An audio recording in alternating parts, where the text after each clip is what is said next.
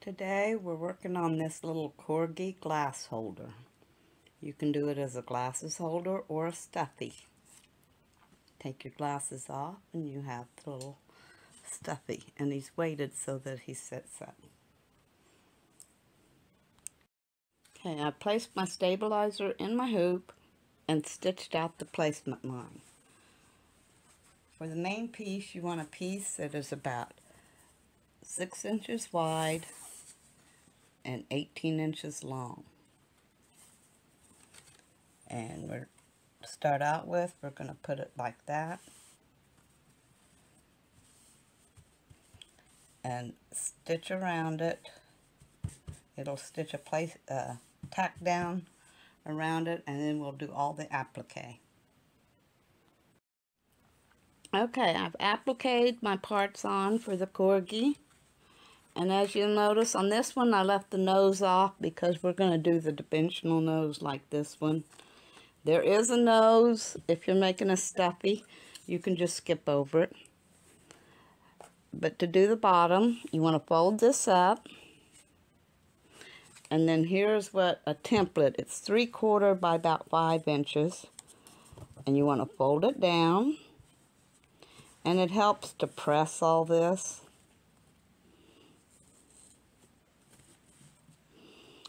And then pull your template out. And you can use your template again.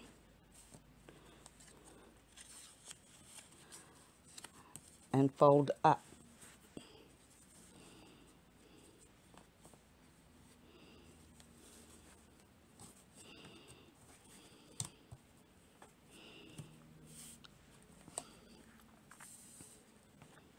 and then pull this out and you'll stitch it together.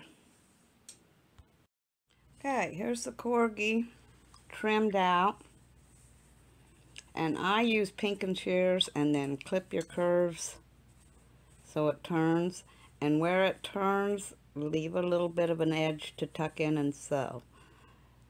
And you want to turn it through this little hole. Okay, for the boxed corners, you want to be sure and push out the points. Kind of hard on this side because I might have went up too far.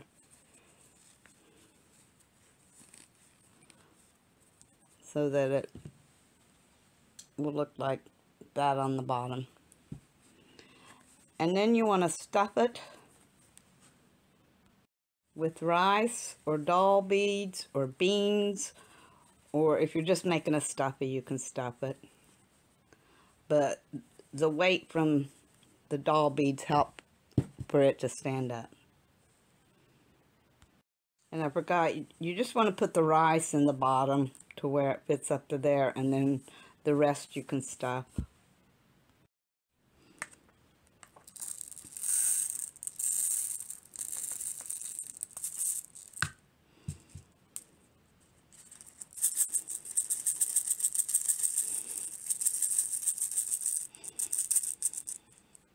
I use a funnel. Sometimes it works and sometimes it doesn't.